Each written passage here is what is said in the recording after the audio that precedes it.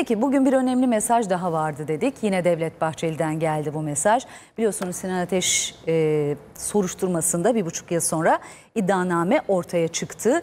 Ve herkes e, memnuniyetsizliğini dile getiriyor peşi sıra. Sinan Ateş'in eşi Özgür Özel'le bir araya geldi. O da iddianamede kendi ifadesinin olmadığını, bu iddianamenin ortaya e, beklentileri karşılayan bir sonuç çıkarmadığını, ilişki ağını ortaya çıkarmadığını, sorumlu olarak görülen isimlerin bu iddianamede yer almadığını ifade ediyor. E, şimdi o isimler ucu biraz MHP'ye dokunan isimler biliyorsunuz başından beri konuştuğumuz şey bu. Şimdi bugün Devlet Bahçeli kürsüde e, bir kez daha bu konuda konuştu. İlk konuşmasında sert bir cevap vermişti iddialara e, neredeyse 3-4 hafta sonra bu suikasttan. Bugünkü konuşmasında da dedi ki e, malum cinayet bir kere bu tanımı da dikkat çekiciydi. E, iddianame bir an önce kabul edilmeli. Kim elinde ne varsa getirmeli, konuşmalı ve bakalım bu e, mahkemenin sonu Ankara'ya mı dayanacak, Pensilvanya'ya mı dayanacak? Niye iddianame hazırlanmadı diye sordular. İddianame hazırlandı. İçi boş dediler. Davamızı yargılamak için kuyruğa girdiler. Milliyetçi Hareket Partisi olarak beklentimiz şudur. Meskur iddianame ile ilgili mahkeme tarafından kabul edilip yargılama süreci derhal başlatılmalıdır. Kimin elinde hangi belge ve bilgi varsa mahkemeye sunmalıdır. Hatta şahit olarak dinlenmek isteyenlere mahkeme kapısı açılmalıdır televizyon ekranlarında mahkeme yargılanamaz. Cumhuriyet Halk Partisi'nden ipine kadar malum partiler neyi biliyorlarsa acilen mahkemeye yetiştirmelidirler. Abdestten şüphesi olmayanın namazından şüphesi olmaz. Çiğ süt içmeyenin karnı da ağrımaz.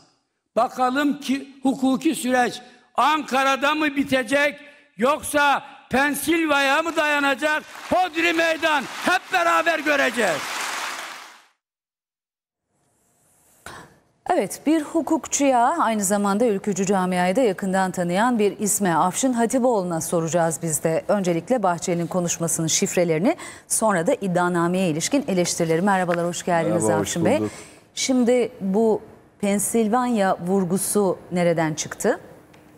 Yani tabii e, Sinan Ateş cinayetinden sonra Sinan Ateş'in e, bir şekilde belli bir kampanyayla kötülenmesi veya kamuoyu nezdinde itibarının sarsılması için bazı iddialar ve söylemler dile getirildi. Bu iddialar ve söylemler kapsamında bu benzeri işte Pensilvanya, FETÖ vesaire e, atıfları da yapıldı. Bu yani kapsamda, Sinan Ateş'in aslında FETÖ'cü olduğunu mu iddia ediyor Devlet yani Bahçeli? Ben onu bilemem tabii. Yani onun e, kastının ne olduğu ile ilgili niyet okuması yapamam. Ama burada e, kamuoyuna bir şüphe ve istifam e, bırakılıyor. Bu kamuoyundaki istifam ve şüphenin de mahkeme aracılığıyla aydınlatılması gerektiği ile ilgili bir e, ifadesi var.